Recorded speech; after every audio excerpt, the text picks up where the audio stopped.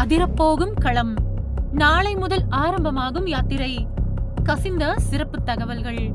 தமிழக பாஜக தலைவர் அண்ணாமலை முதற்கட்டமாக யாத்திரையை முடித்துவிட்டு மீண்டும் அடுத்த கட்ட யாத்திரையை விரைவில் துவங்குவேன் என்று அறிவித்திருந்தார். பிரதமர் மோடியின் ஒன்பது ஆண்டு கால சாதனைகளை பரப்புவதற்காக அண்ணாமலை கடந்த செப்டம்பர் மாதம் ராமேஸ்வரத்தில் யாத்திரை ஆரம்பித்தார். உள்துறை அமைச்சர் அமித்ஷா துவங்கி வைத்த இந்த யாத்திரை கிட்டத்தட்ட தென் மாவட்டங்கள் அனைத்தும் முடிந்துவிட்டது. இந்த நிலையில் தற்பொழுது மேற்கு மண்டலமான கோவையில் கடந்த மாதம் இறுதியில் யாத்திரை நிறைவடைந்தது.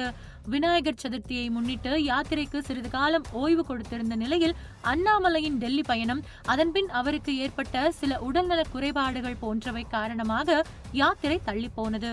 இந்த நிலையில் நாளை மீண்டும் யாத்திரை அவினாசியில் துவங்க இருக்கின்றது. அதனைத் தொடர்ந்து இந்த யாத்திரை பல்லடத்தில் பத்தொன்பதாம் தேதி திருப்பூர் வடக்கு தெற்கு தொகுதிகளில் அக்டோபர் இருபதாம் தேதி நடக்கவிருக்கின்றது. திருப்பூரில் மூன்றாம் கட்ட யாத்திரை தொடக்க விழாவில் மத்திய அமைச்சர் பியூஷ் கோயல் பங்கேற்க உள்ளார் அதிமுக பாஜகவின் கூட்டணி முடிவு. மேலும் தற்பொழுது திமுக தரப்பில் முழுவீச்சுடன் கூட்டணி பேச்சுவார்த்தை தேர்தல் வேலைகள் என இறங்கியிருக்கும் சமயத்தில் இதற்கு முன்பு நடைபெற்ற யாத்திரைகளில் அண்ணாமலை பங்கேற்று செயல்பட்டதை விட இந்த யாத்திரையில் எப்படி பங்கேற்று செயல்பட போகிறார் என ஆர்வம் எழுந்துள்ளது பொதுமக்களுக்கு. அது மட்டுமில்லாமல் கொங்கு மண்டலத்திலிருந்து யாத்திரை மெல்ல மெல்ல திருச்சி மத்திய மண்டலம் மற்றும் டெல்டா மண்டலம் ஆகிய பகுதிகளில் யாத்திரை நடைபெற இருக்கின்றது.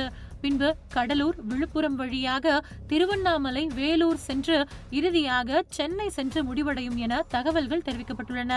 நாளை தொடங்க இருக்கும் யாத்திரையில் அண்ணாமலை எது போன்ற அரசியலை முன்னெடுக்கப் போகிறார்? இன்னும் வரும் நாட்களில் களத்தில் எது போன்று அண்ணாமலை செயல்பட போகிறார் என கமலாலய வட்டாரத்தில் விசாரித்த பொழுது சுவாரஸ்யமான சில தகவல்கள் கிடைத்தன. அதாவது இனிவரும் யாத்திரை முன்பு இருந்ததை விட வேகமாக இருக்கும். முன்பு இருந்த யாத்திரை பிரதமர் மோடியின் நலத்திட்டங்களை மக்கள் மத்தியில் மோடியின் முகவரி என்கின்ற பெயரில் கொண்டு சேர்ப்பதற்காகத்தான் இருந்தது. ஆனால் இனிவரும் யாத்திரையில் திமுக அரசின் செயல்பாடுகள் திமுக அரசு தேர்தலை முன்வைத்து செய்யும் அரசியல் ஆகியவற்றை மக்கள் மத்தியில் தோல் உரிப்பது போன்று இருக்கும் என தகவல்களை கசிய விடுகின்றனர் கமலாலய வட்டாரங்கள். இதனால் அரசியல் களம் பரபரப்பாகியுள்ளது.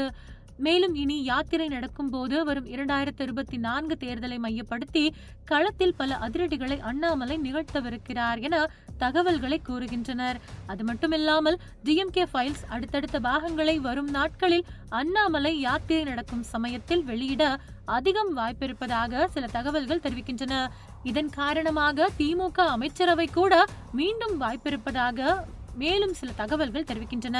அது மட்டுமில்லாமல் வரும் நாட்களில் திமுகவின் கோட்டை எனப்படும் டெல்டா மாவட்டங்களில் வேறு யாத்திரை நுழையவிருப்பதால் தமிழகத்தில் வேறு பகுதிகளில் நடந்த யாத்திரையை விட டெல்டா பகுதிகளில் இன்னும் பிரம்மாண்டமாக இருக்க வேண்டும் என வேறு திட்டமிட்டு யாத்திரை ஏற்பாடாளர்கள் செயல்பட்டு வருவதும் கசிந்துள்ளது.